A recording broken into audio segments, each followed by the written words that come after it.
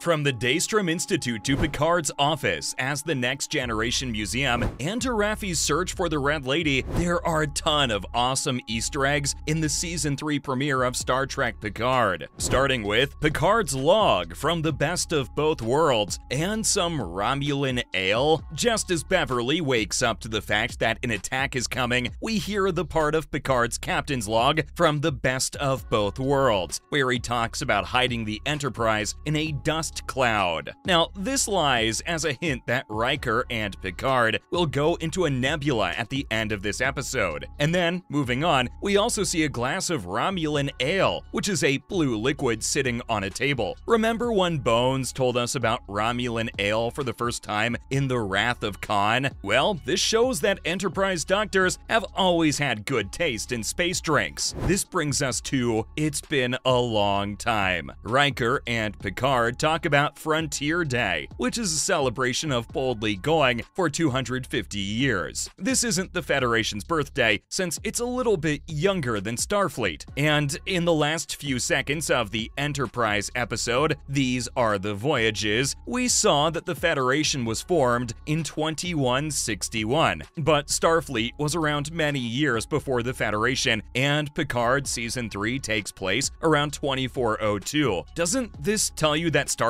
is celebrating something that happened in the first year of the NX-01 Enterprise, which was either 2151 or 2152? Interesting, is it not? Oh, well, there's no way you would have missed this next one, Daystrom Institute. Raffi can't stop thinking about what was taken from a Daystrom station that wasn't on the same property. This question will turn out to be one of the most important MacGuffins in Picard Season 3, but you might be wrong even if you think you know what it is. Anyway, Dr. Richard Daystrom, played by William Marshall in the TOS episode The Ultimate Computer, is where the word Daystrom comes from. In that episode, we learned that most of the computers on Starfleet ships were designed by the company, and in the first season of Picard, the Daystrom Institute on Earth was at the center of the story, and it was there that Dr. Jurati was introduced. The body of B4, Data's twin brother from Nemesis, was kept at the Daystrom Institute at that time. This reminds me, Captain Shaw hates Jazz, Riker, and Picard. Todd Stashwick plays Captain Liam Shaw, which is a bit of a nod to the show 12 Monkeys, where he played Deacon. Don't lose track of him. Anyway, he says that he doesn't like jazz, which is a jab at Riker, who's loved playing jazz trombone since the TNG episode 11001001. In fact, Shaw also makes it clear that he doesn't like Picard and Riker. He talks about their wildly exciting and equally irresponsible adventures, which could mean a lot of different things. But his joke about crash landing is probably a direct reference to Generations, when the Enterprise D crashed on Veridian 3. But hey, if you didn't notice that, then no worries, because this next Easter egg was impossible to miss. Picard's office is a The Next Generation museum. Like in past seasons of Star Trek Picard, Jean-Luc's home in La Barre, France, has several items that Trekkies will recognize. And some of these things get extra attention in the scene where Picard and his girlfriend, Laris, do some spring cleaning. First, he thinks about giving Geordi LaForge and the Starfleet Museum the big painting of the USS Enterprise D, the one that used to hang in his ready room in the next generation. And right below it, on the mantle, is a that might be from Picard's quarters. Other than that, the Who Watches the Watchers, Mintakan tapestry that used to hang over his chair on both Enterprises still hangs behind his desk chair at home. And there's a memento from the Bajorans, a gold model of both the Enterprise D and the Enterprise E, and his Ressikan flute from the Inner Light. This may be the most valuable of all his mementos, because it's the only thing he has left from his life on the planet Kataan, which has been dead for a long time. Later, he sits handwriting a note on his table. The Kurlan Naiskos, a valuable archaeological artifact that was a gift from his mentor, Professor Galen. The authorization code that Picard uses to read Beverly's message is Picard 47 Alpha Tango. This is the same security code that he uses in Star Trek First Contact to start the self-destruction sequence on Enterprise E. Oh, and I can't believe I almost forgot. Raffi's search for the Red Lady is its own Easter egg hunt. When he asked the computer to list all the big events coming up in the next few months, this is a pretty silly request, given that we're talking about the whole galaxy. It only gives him three results. The Deep Space Nine episode, Fascination, was the first time the Gratitude Festival, a Bajoran holiday, was shown. Empire Union Day is a Klingon holiday that was only mentioned in a